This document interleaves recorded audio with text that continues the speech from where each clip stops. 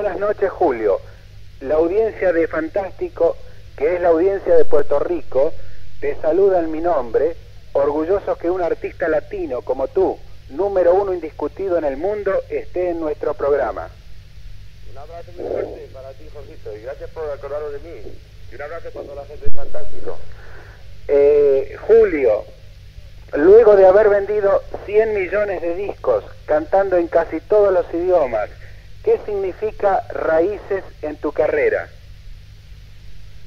Raíces es, un poco volver a, a las, eh, a la música que yo cantaba y que escuchaba cuando era más joven.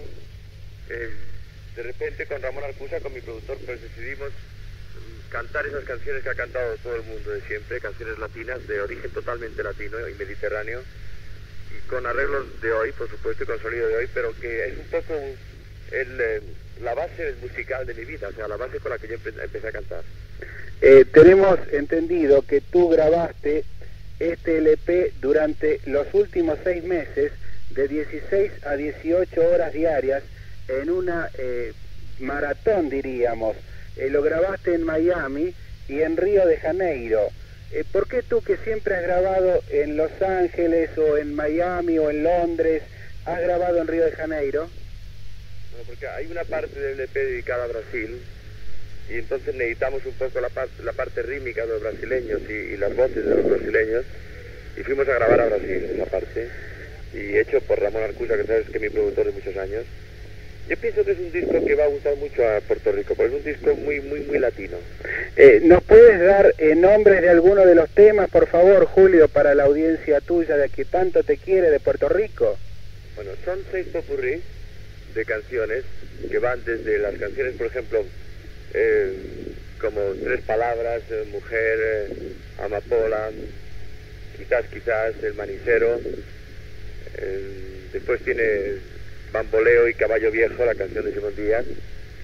Tiene después un- una dedicación muy grande a la música mexicana que va desde... se me olvidó otra vez de Juan Gabriel hasta ¿Y qué hiciste del amor que me juraste? Hasta la bamba, o sea que es un, todo un compendio de canciones, Jalisco, Roterrajes, México lindo, o sea es un poco de, de la música entrañable mexicana. Después hay un popurrí dedicado a la música francesa, donde está la música de Jacques Brel, de Edith Piaf, del Gilbert Becot y de Charles Aznavour. Después hay un popurrí dedicado a la música italiana, donde está desde Dos Soles Mío a Non te Benficara, al eh, Torna Sorrento, o sea, las canciones clásicas italianas. Y después está el popurrí brasileño, donde está desde desafinado hasta hasta Brasil, la Corea de Brasil. O sea, que este es un, un poco un repaso de la música de los años 40 y 50 en el mundo entero. Tú que eres un hombre de éxito, un hombre triunfador, un número uno en el mundo, eh, ¿qué mensaje, eh, tú que provienes de una raíz que es la nuestra, eh, qué mensajes le darías a toda Latinoamérica en estos momentos especiales que vive Latinoamérica?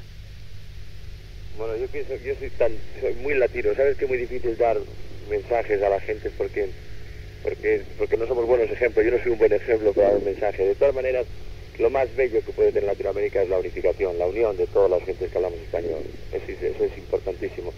Gentes como vosotros, como tú, por ejemplo, Jorge, que eres argentino, tienes la capacidad de hacer un programa en una tierra bendita como es Puerto Rico porque entienden tu lingüística y entienden tu, tus raíces, entienden tu ancestro totalmente latino.